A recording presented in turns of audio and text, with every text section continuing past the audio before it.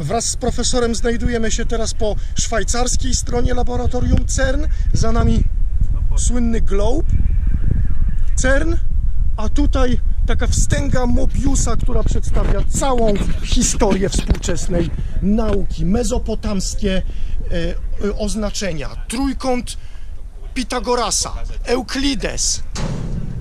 Mamy tutaj układ geocentryczny i epicykl Ptolemeusza, chińska mapa nieba, układ heliocentryczny Kopernika, y, prawa Keplera, y, Galileusz, równanie Newtona,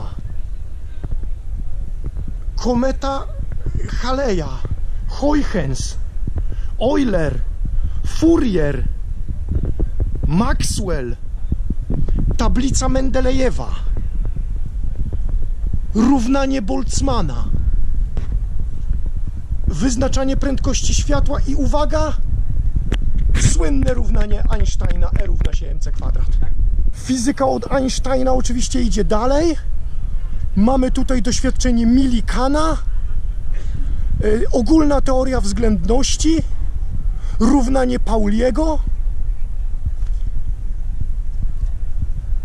Heisenberg, Paul Dirac i uwaga, model standardowy, równanie pola i potwierdzenie modelu standardowego tutaj w CERN w roku 2012.